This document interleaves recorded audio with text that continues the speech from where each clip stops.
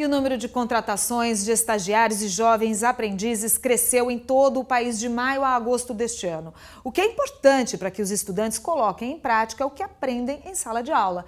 Mas levanta também uma outra questão que você vai ver agora na reportagem. Diego ainda comemora o estágio que conquistou na área de departamento pessoal de um supermercado em Araçatuba, noroeste paulista. Ele cursa administração e tem aprendido muito com o novo trabalho. É importante para o crescimento profissional, né, que eu tenha a oportunidade de tudo aquilo que eu vi na faculdade e estou vendo a ser aplicado aqui na prática. E a cada dia que passa eu vou aprendendo mais, conforme os conhecimentos que eu vou adquirindo com meus amigos de trabalho, só tenho a crescer, a desenvolver cada mais minhas habilidades e assim por diante. No supermercado em que ele trabalha, são 620 funcionários e muitos adolescentes fazem parte desse número. E trabalhando direito, uma hora uma vaguinha para ser efetivado aparece para eles. Pode angariar alguma atividade assim que terminar seu estágio, né?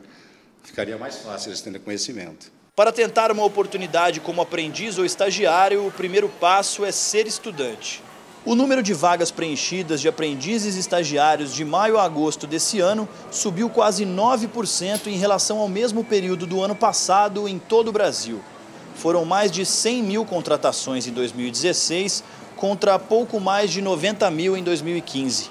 E na região esse número também subiu.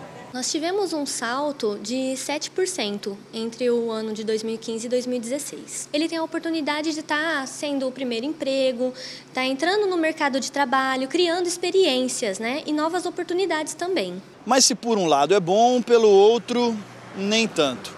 O aumento no número de estagiários e jovens aprendizes no mercado de trabalho pode evitar que muitos profissionais sejam contratados. É possível que haja um, realmente um incremento diante da crise. É bem provável que aumente a, a, a substituição dos empregados que foram dispensados esteja, em parte, sendo substituído por estagiários e por aprendizes. A lei prevê que uma empresa que tem de 1 a 5 funcionários pode contratar apenas um estagiário.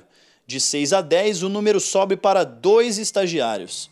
De 11 a 25 empregados é permitida a contratação de até 5 jovens.